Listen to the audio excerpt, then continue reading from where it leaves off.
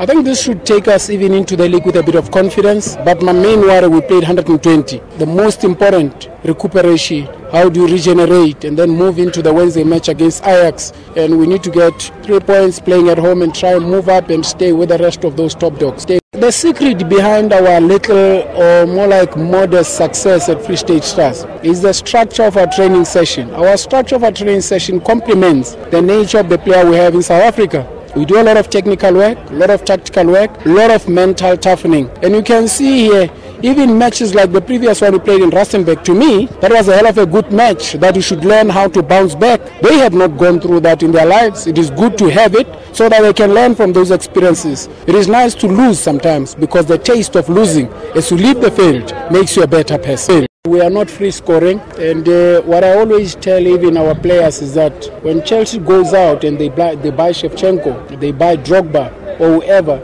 they are going out there to buy goal scorer. Take out Messi from Barcelona, they won't score the same number of goals. Take out Ronaldo. So goal scorers are special players, and we're trying to manipulate with the talent we have. We don't have the budgets to go get a special player, but we'll try improvise that at the end of the day, with or without strikers, we should win matches of football. You have rough diamonds and then you make them and you still sell them. You're a selling club. Yeah, you have to polish them, Baba. Objectives are not the same. Some of us have deep pockets, they are more of buying teams, and I think those are the ones who sustain even the national teams. But for us, we become more feeders to those who sustain the national teams. It's a lot in football. Somebody has to pick them up, somebody has to polish them, somebody has to perfect them and then the nation benefits. So it's nice, it's nice. We enjoy it, but sometimes it puts you under extreme pressure.